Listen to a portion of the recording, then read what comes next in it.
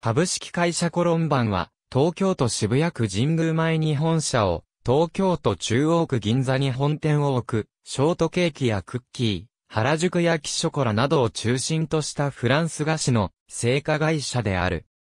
喫茶店や百貨店内の売店ではケーキを主力商品として販売している。さらに、渋谷コロンバンビル屋上での養蜂プロジェクトや原宿ロール、原宿焼きショコラを展開する。バタークリームを使用したデコレーションケーキは、クリスマスや母の日以外は受注生産しかしていない。また、長年、半円形のジャパニーズワッフルを販売していたが、こちらも今は、祭事等、ごく稀にしか生産しない。戦前から今に至るまで、洋菓子では、唯一の宮内庁御用達である。かつては、三和グループのメンバーであり三和系企業で、設立された緑会のメンバーだったが、今は退会している。創業者が考案したとされる、日本風、ショートケーキ1915年、宮内省大前領院を拝命した、門倉国旗が、都仏、帰国後1924年に、東京大森に、日本初のフランス菓子店、コロンバン商店を創業したのが発祥という、洋菓子界屈指の老舗。定番の日本風、ショートケーキを、コロンバンが、初めて考案、製作販売したとしている。1931年に、銀座にオープンテラス喫茶のパイオニアであるロボー風の店舗、テラスコロンバンを開店するなど、格式が高く先駆的な会社として知られた。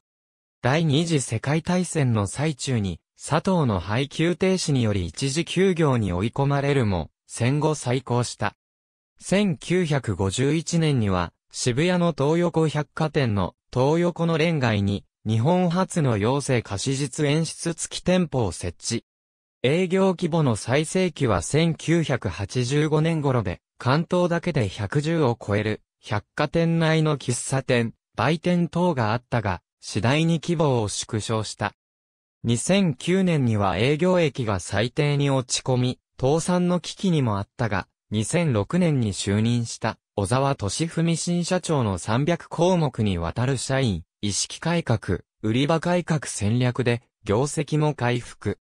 特にクッキーは、年間売上高4400万円が6億円と、約13倍に急進するなど、積極的な商品、市場開拓展開、営業展開により、新たな成長を見せている。2020年1月17日、近隣の土地と合わせた、東急不動産、渋谷区との再開発に伴い、53年続いた、表参道沿いの原宿本店サロンを、同年2月16日に閉店することを発表した。かつては東京だけでなく大阪、名古屋、札幌、仙台、静岡にも支社があったが、現在残るのは、大阪、名古屋、仙台である。銀座のコロンバンには、藤田嗣治画伯の絵画が天井に飾られ、長井家風、川端康成、谷崎潤一郎、田村泰次郎といった文豪もしばしば来店していた。谷崎潤一郎の小説ささめゆきには、同店が登場する。今でも、銀座のイメージが強いが、陶器上の本店である以外には一部オフィスがあるだけで、サロン本店のある原宿が事実上の本社のようである。フランスパンの連想からか、しばしば、コロンパンと誤読されるが、基本的にパンは販売していない。ありがとうございます。